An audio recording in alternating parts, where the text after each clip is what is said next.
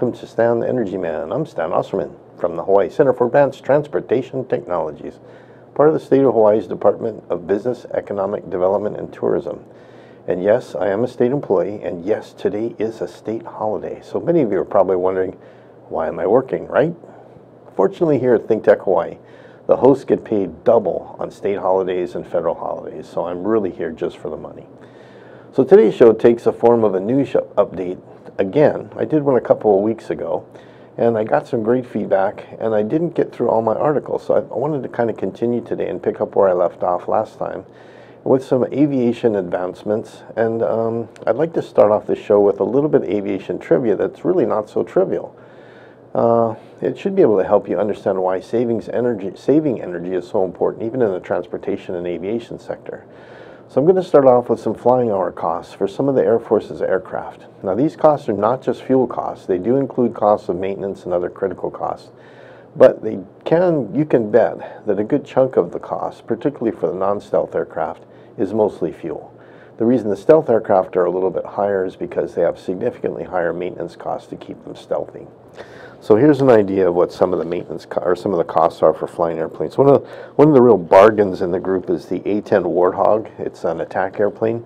It, it's only $17,000 an hour. So every time you drive it for an hour, you spend $17,000 for fuel and maintenance and things. Uh, one of our great bombers, the B-1 bomber, it's a long-range swing-wing airplane. That's $58,400 flying hour. The real daddy rabbit of this whole thing is the B-2 stealth bomber. And like I said, stealth airplanes are a little bit more costly because of their um, keeping their coatings and everything up to speed, so they're stealthy. It's $128,805 a flying hour.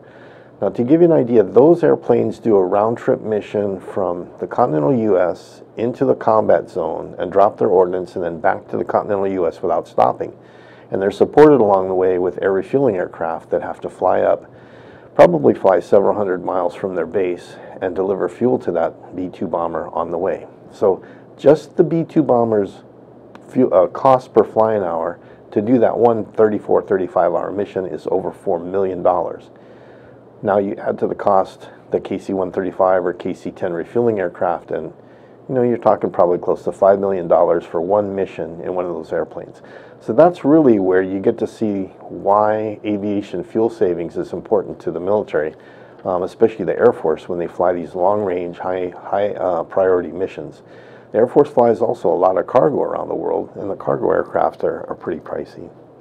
The next airplane down the list is the B-52 bomber. It's a, it's a basically a 1950s vintage aircraft, and quite frankly, the engines haven't even been updated uh, to, to current high bypass fan engines. And that airplane is $67,000 a flying hour. You get down to some of the smaller fighter jets, they're in the $20,000, $27,000 range. The F-22 that we fly out here with the Hawaii Air Guard is around $60,000 a flying hour.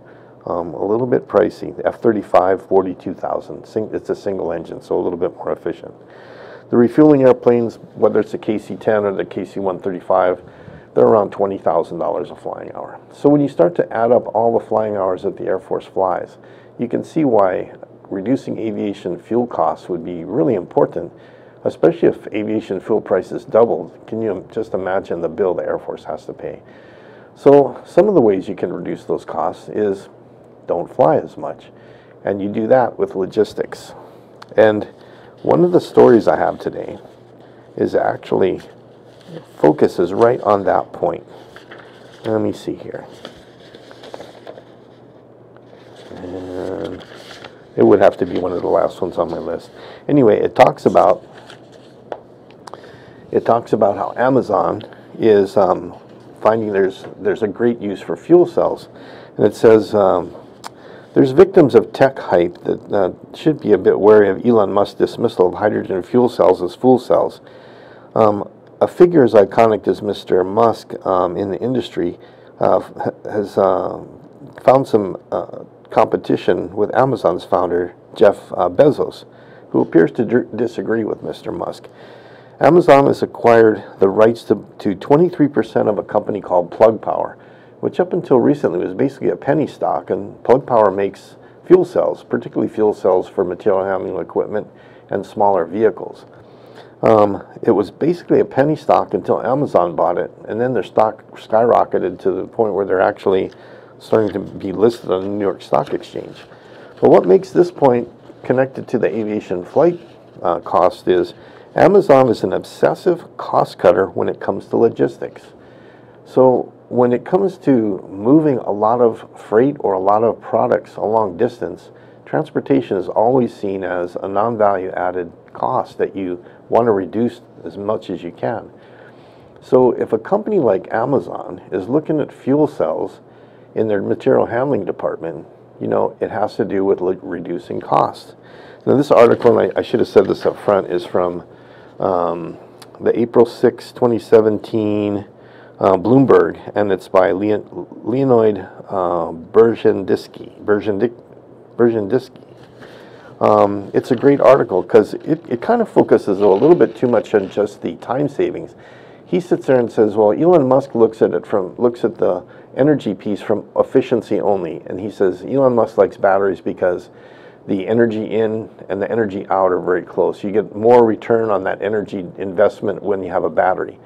But what Elon fails to recognize in this is what we call in the logistics world the full cradle to grave or fully burdened cost of that technology.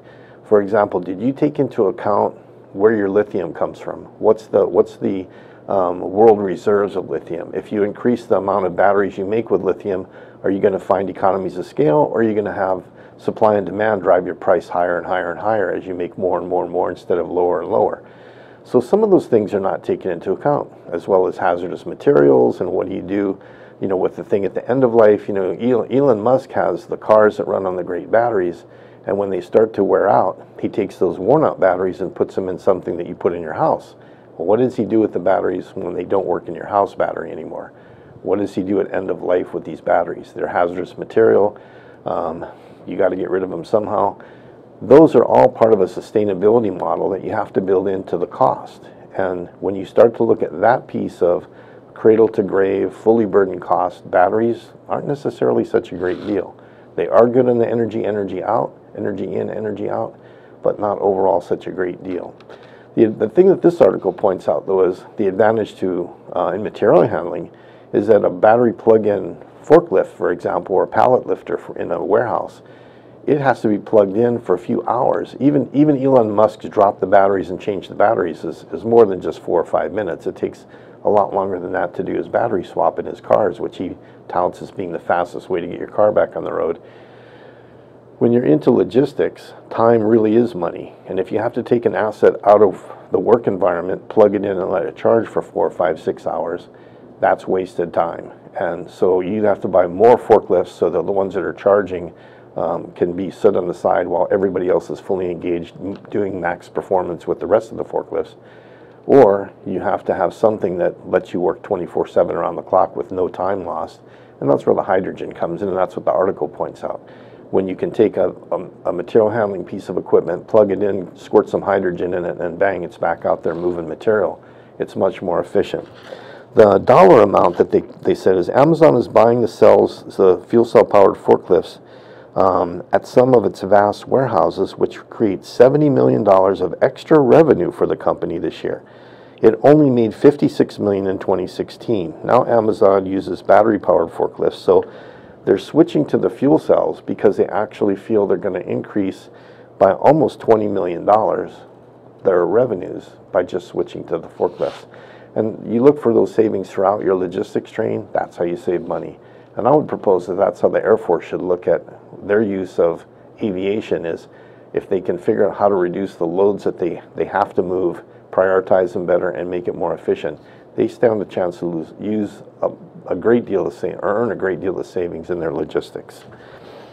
Uh, one of the other articles that I came across this week, it says hydrogen powered train emits only water. This was actually given to me by a local um, landfill owner, Steve Joseph, and um, it's from, let me see, it's from fuelhawaii.com, and it looks like it's by Eric Epling, and it says, Imagine nearly silent train that glides along its tracks emitting nothing more than more toxic than water. In Germany, um, con has concluded successful tests of the world's first hydrorail, a hydrogen-powered zero-emission train. Its speeds and, and possibly uh, the possibility to transport passengers match the performance of all their diesel trains, and the only sound it gives off comes from the wheels on the track and the air resistance. There are five federal states in Germany that have signed a letter of intent to purchase these trains, and um, they're going to get 60 of the trains from a French firm. Each two-car train uh, set requires a fuel cell that weighs 207 pounds. 207 pounds worth of, I don't think you could put 207 pounds worth of energy in battery form on a train and get very far. But the 270 pound hydrogen tank supply will, with oxygen supplied from the air, gives the train up to a 500 mile per day range on that single tank of hydrogen. And they carry 300 passengers at a time. The first operational trains will roll out not by 2020 or 2030, but in 2018. That's only next year. And um, they, they're going to provide Europe with a great green uh, alternative to diesel trains. According to the EU, about 20% of Europe's current rail traffic runs on diesel. Most of the rest of it actually runs on electric, uh, and the electric is in either third rails or overhead tracks in uh, a lot of the, the uh, local areas. But there's about 20% of the rail that's not electrified. So what they'd like to do is take that 20% that's not electrified, take the diesel trains off, and put the hydrogen fuel cell electric trains on those legs until they get them electrified, then go straight to electric.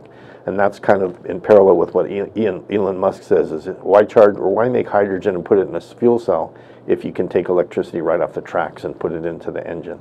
So that's where they'd like to get eventually, but the hydrogen has a role here, and in this case it's a bridging role um, for the trains. But in other cases, like for large um, transport trucks, hydrogen is actually the end state. It's the way you get to that because you, you have to be able to transport your own energy when you're doing 18-wheeler trucks and stuff, and you can't, you can't carry enough batteries to give an 18-wheeler much range. You're much better off using hydrogen for that energy carrier. Another article we came across, there's actually a couple here that came out of the local um, media, out of uh, local biz journal, and um, they come from the Maui Energy Conference. We had a Maui Energy Conference uh, several weeks ago, and there were a couple great articles that came out right afterwards. And one is every major island except Oahu could reach 100% clean energy by 2040, the PUC chair says. And he's absolutely right. In fact, you'd be amazed if you look at how efficient the outer islands, and neighbor islands, um, are doing energy. They're they're they're surpassing Oahu in, in big time, and they could they could be 100% energy efficient in, in just a few more years, because they have infrastructure there. They have the land available and the resources, re natural resources available, to give them that energy, and they don't have as big a load.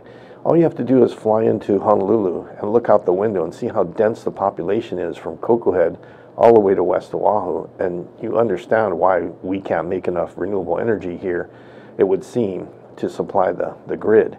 But it's kind of a, uh, I think it's, it's not really that bad in terms of Hawaiian Electric and some of the other folks that make you think that you're, you're going to have to use biofuels or something else that burns to give you that clean power. But there's some studies done in the 70s by the University of Hawaii and some mainland um, research institutes that have actually shown geothermal is available on Oahu in several locations, and those locations include Bellows Airfield on the windward side, Diamond Head Crater on the south shore, um, Pearl, around Pearl Harbor, Pearl City, inside Pearl Harbor, and out in Waianae. There's actually geothermal uh, potential uh, on Oahu right here, so we wouldn't have to necessarily move power from neighbor islands to here to provide the, the vast majority of the population lives on this island. So maybe it's time we go back and look at some of those studies and really decide whether geothermal could help this island instead of trying to think of ways to run an undersea cable from one of the other islands and put the burden on those islands to produce all of Oahu's electricity.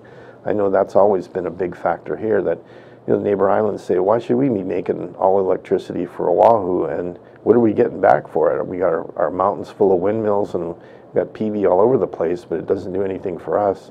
You know, we're not getting a real benefit from it. So I agree. Neighbor islands are way ahead of us now, and they're they're going to keep stepping out ahead of us.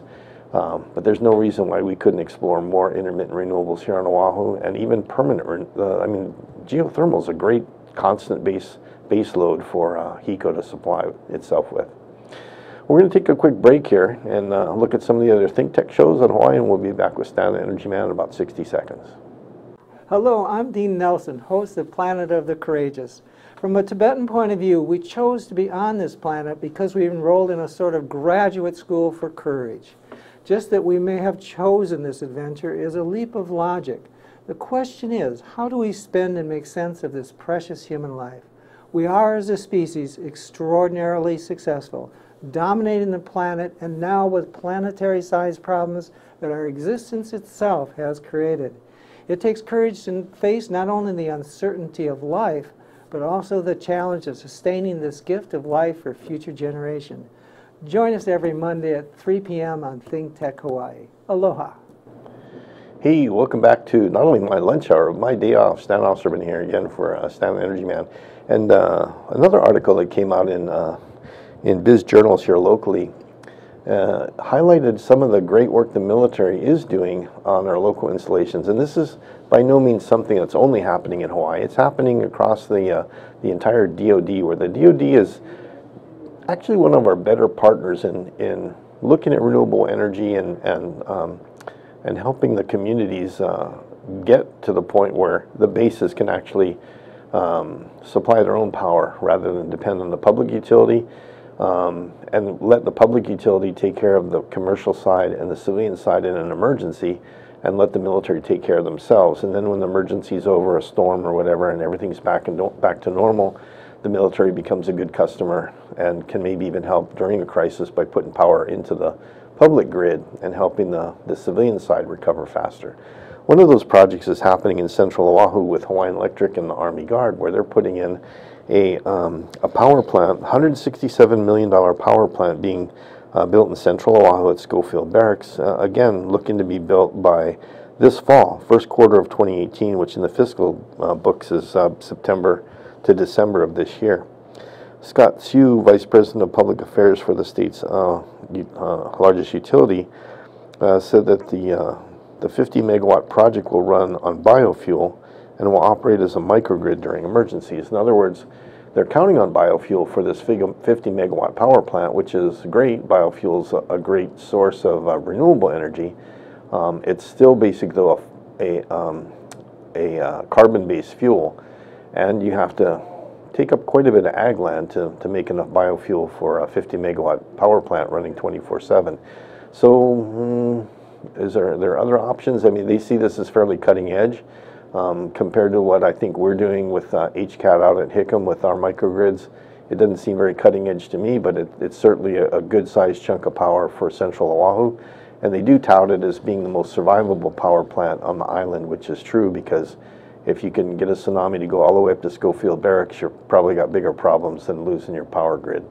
Um, so they definitely have a survivable system up there that can help Central Oahu come bounce back after a, a natural disaster and, and, and help them with their power. Um, so the military is leaning forward doing this stuff, but quite frankly, uh, I think that all of the big utilities are missing a whole lot of opportunities. Um, the, the words behind me, transportation, it's electric. Um, I'm going to keep them up there and they'll flash back from time to time in different shows because one of the things that we talk about in our office uh, when we when we kind of mull through our message and what we really need to do to get people to think about hydrogen is we, we realize that people have not made the connection that the transportation sector is going to have to become more electrified, whether it's batteries, hydrogen fuel cell, or on rails or something. But electricity is the way we're going because it's much more efficient. If we don't get that picture, you kind of lose the fact that the rail project that we're counting on is going to be electric.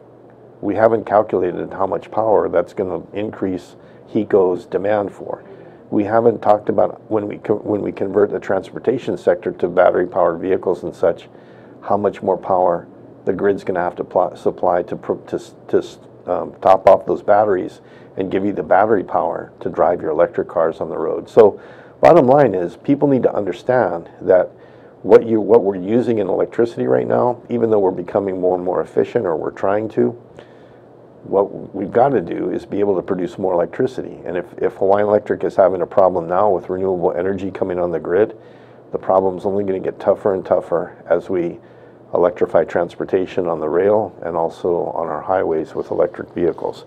So we need to start being more creative with our electric power. this is um, a great article, and it talks about to that efficiency piece. Um, for those of you that aren't familiar with Hawaii Energy, and this is also from Hawaii Biz Journals, Hawaii Energy is um, a uh, funded by the Public Utilities Commission, and it's basically a public awareness slash public um, outreach that, that's that's focused on energy efficiency. They're the folks that have given you rebates for turning in non-efficient appliances and buying Energy Star appliances and, and doing all kinds of things like that. Well, I think the most important thing to recognize, and this article points it out, is they said Hawaii Energy has accounted for more than $325 million in life, lifetime savings for its customers over the past year. Now, that's not to, to say that they saved their customers $325 million last year, but the efforts that they put out, which were really pretty small dollar sign, dollar amounts from the PUC, probably several million dollars, by getting out to their customers and showing them how to reduce their electric bill. They literally did reduce people's electric bill enough that over the lifetime of owning a house or, or typical lifetime that, uh, that statisticians use, that those people are going to save $325 million in electric. And that's the first thing we always do. Whenever you're building a microgrid or building a car or doing anything, you always go for efficiency first. You try and get the most efficient uh, systems in place before you put in your PV array, before you put in your wind power, before you, before you try and, and electrify through renewable resources, you always go for efficiency first. And that's what Hawaii Energy does. So I know they have a great website. You probably ought to, ought to check it out. They've got great tips on saving energy. And Ray Starling on uh, some of I think Tech Hawaii's programs as a host. He's a good buddy of mine, and he ran that operation for several years. He does it now, but he'll tell you all about how important uh, getting more efficient with energy is, even when you go renewables. Uh, another neat thing, I this is one of my favorite areas. Um, there's an article that came out on, uh, on the web with NBC News um, by, by a, a, lady named Kate um, Bagley. And it says the next solar energy re revolution is hiding in plain sight. And I'm not going to go through the whole article in detail, but it talks about how technology has gotten so much better that pretty soon you won't put solar panels on your roof. You'll put roofing tiles on that are solar panels.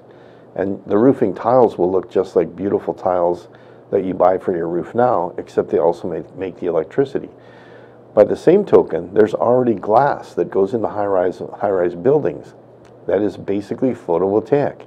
And you can put all kinds of other features in it, like um, you can put um, films behind it that, that will help the photovoltaics produce electricity, not only what hits the front, but what reflects off the back, uh, the back film and gets energy from both sides of the, of the piece of glass to give you more energy. There's things like that. There's things like the seawater air conditioning that we talked about on several shows ago. There's so many ways that we can reduce our energy requirements and take the technology that right now we have as kind of, I would equate it to just like the clunky old cell phone that we used to have that was this big and had a big antenna, and now you have a little phone. And a little phone is not just your little phone, it's your camera, your video camera, your note taker, your, your TV, it, it does everything. Pretty soon you're going to see this kind of technology, this renewable energy technology, become more valuable because it does more things. It's not just solar panels on your roof, it's the roof itself that protects your house and, and keeps it from wind damage and rain and, and all kind of foreign objects from coming into you, to your private uh, space. So let's look at that. The one thing that really, really caught my attention in here and the people that work with me know this is one of my, my pet peeves, is solar paving. Because I work around airplanes and I look at an airfield where, for the most part, there's a whole bunch of paving out there that's absorbing a ton of heat and a ton of light all day long. It's acres and acres and acres. And it's just sitting there. And we could be using it as a solar collector for heat to heat hot water for residential or commercial use. We could use that, that waste heat for uh, running other things, air conditioning and other things. We could use that heat for storing energy. We can use the sunlight that hits those tiles and, and that same square footage to produce electricity.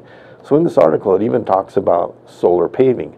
And there's a company out there, um, I think they go by the name of Solar Freaking Roadways. And if you look them up, it's a very entertaining video and it's, it's very high tech. Um, but you'll also, if you really dig deeper, you'll find that those guys have a lot of detractors that say this is totally unrealistic and, and unaffordable and unbelievable. And I'm kind of in that camp. These things are so complicated and so expensive, you couldn't pave much more than your driveway without going broke. And it does things like if, if an animal is walking across the road, it lights up the road so you can see the animal. Um, it has lane lane markings on there that you can change around, so you could you could reconfigure parking lots or reconfigure roadways or put messages on the roadway. I mean that that is so technical and so uh, I think so out of reach of what we could do technologically right now. Maybe that'll work 20 or 30 or 40 years down the road, but right now we would we would be great if we could just get some solar paving that we could fit into a system that could collect heat and the and the um, the solar energy that we get raining down on us all day long here in Hawaii and use that to produce the power that we need to, to run our, our island. Um, but it's a good article, and if you can look it up on NBC News, I think it'd be worth a look at. Um, this last article is, um, I'm not sure where Ford leaving one Ford in the dust is uh, Chase's new tech tech focused missions. This one's kind of interesting, and it comes from, a, uh, again, from Biz Journals. It was, I think, republished from a Ford, Ford Motor Company publication. Um, and it's from October of last year. But in essence, this article talks a lot about how the car companies are not just looking at fuel efficient vehicles and fuel efficient technology, they're literally making investments in things like um, um, public transportation, um, things like uh, carpooling uh, companies or companies that are set up to have their own like luxurious shuttle buses. So instead of taking public transportation, you, you sign up for a service that takes you to work every day and picks you up like when you were a kid and you were on your school bus. These folks would come around through a neighborhood with a 25, 30 passenger bus, pick up a bunch of folks, your nice luxury seats, maybe they got coffee and stuff on board, and they take you to your destination downtown. You're riding in, in comfort, but you're taking 30 cars off the road because you've got a bunch of people all in one vehicle and going.